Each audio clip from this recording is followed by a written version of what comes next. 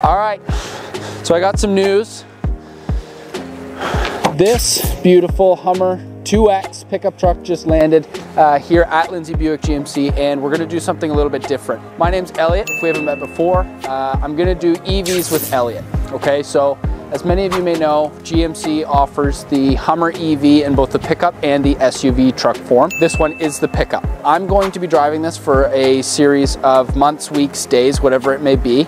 Uh, and I'm going to share with you guys what EV life is all about. Okay, everything from charging, range anxiety, what's it like day in and day out, driving up to, may it be a cottage, may it be somebody else's house to hang out for the weekend, whatever. Tag along on this journey. It's new, I've never driven an EV.